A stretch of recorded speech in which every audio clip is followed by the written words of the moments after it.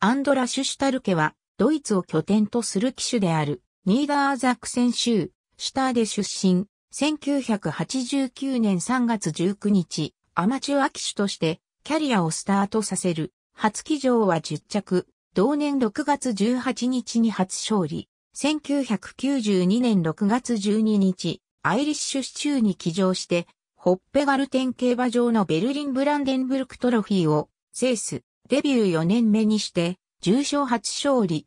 1994年、年間61勝を挙げ10位となり、自身初のトップ10入りを果たした。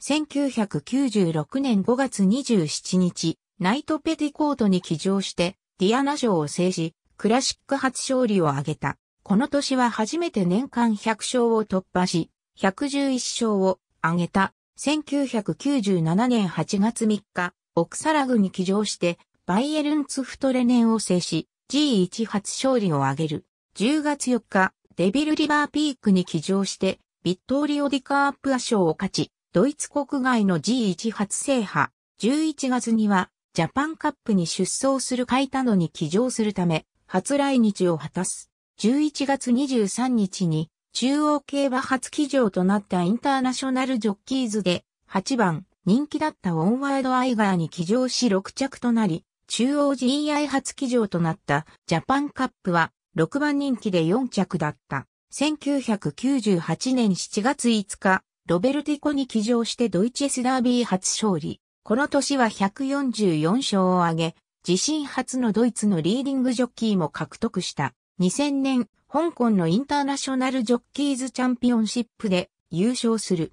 2001年、香港ジョッキークラブ遠征中に薬物検査でコカインの陽性反応が出て半年間の騎乗停止となる。2005年、香港のインターナショナルジョッキーズチャンピオンシップで2回目の優勝を果たす。2007年、ワールドスーパージョッキーズシリーズに初出場し10位となる。2008年も出場したが14位に終わった。2011年10月2日、デインドリームに騎乗して凱旋門賞を勝利。自身のみならず、ドイツ人騎手として、凱旋門賞初勝利を果たした。短期免許で、たびたび来日し、2013年3月23日、阪神 5R で、ベルダボーチェに騎乗し、JRA 初勝利。2014年4月27日、マイラーズカップで3番人気ワールドエースに騎乗し、JRA 重賞初勝利。金額の単位はユーロ。金額の単位は円。優春2011年11月号 P39 ありがとうございます。